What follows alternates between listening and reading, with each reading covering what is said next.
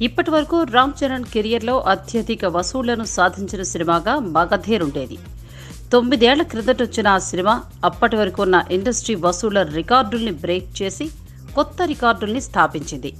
డెబ్బై కోట్ల రూపాయల వసూళ్ళతో అప్పట్లో మగధీర కొత్త రికార్డుని సెట్ చేసింది.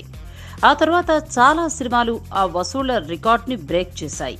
అయితే ఇప్పుడు వాటన్నింటినీ బ్రేక్ చేస్తూ Ram Charan cinema Rangasthalam దూసుకెడుతోంది.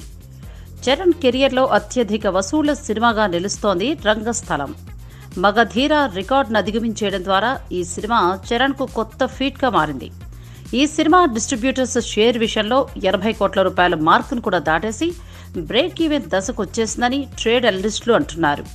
Pre release మార్కెట్లో ఈ సినిమా దాదాపు ఎనభై కోట్ల రూపాయల వ్యాపారాన్ని చేసింది. ఇప్పుడు ఆ మొత్తం డిస్ట్రిబ్యూటర్లకు వచ్చేసినట్టే అని ఇకపై ఈ సినిమాకు వచ్చేవి లాభాలే అని విశ్లేషకులు అంటున్నారు.